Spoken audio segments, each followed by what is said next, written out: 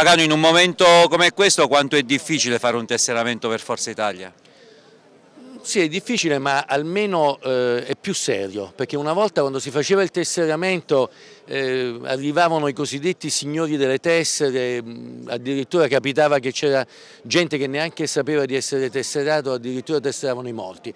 Adesso chi si eh, eh dire, aderisce al nostro movimento politico è veramente convinto di farlo e crede nel futuro di questo Paese. Come dice Berlusconi, noi siamo fermamente convinti di essere maggioranza nel Paese, solo che che una, una parte purtroppo consistente del nostro elettorato in questo momento è sfiduciata ed è rimasta a casa. Dobbiamo, ecco il motivo di, di questa manifestazione di oggi, tornare tra la gente, essere tra di loro, ridurre le distanze alla politica, eh, eh, fra la politica e i cittadini e far capire che i temi che noi portiamo avanti sono quelli giusti per far riprendere l'economia. Possiamo dire che siete tornati all'anno zero?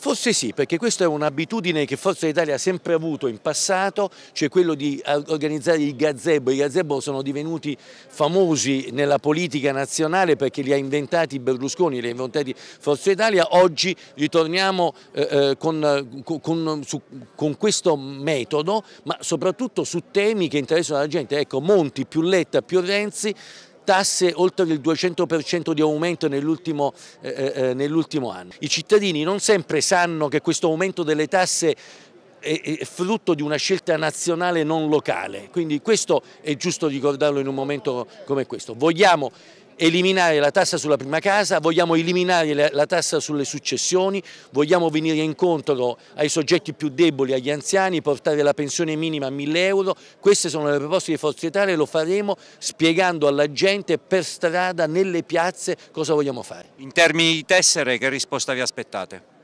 Abbiamo degli obiettivi che ci sono stati consegnati dal, eh, eh diciamo dal coordinamento nazionale di Forza Italia, eh, più o meno il 10% del nostro risultato elettorale alle europee, lo stiamo perseguendo bene, ogni comune ha il, il, proprio obiettivo da raggiungere, i portabandiera che sono stati nominati stanno lavorando eh, eh con, con, grande attenzione all'accremento, ci sono anche problemi di natura economica, aderire ad un partito ha un costo eh, che è 30 euro, quindi non tutti se lo possono permettere, però devo dire che i primi segnali sono molto confortanti.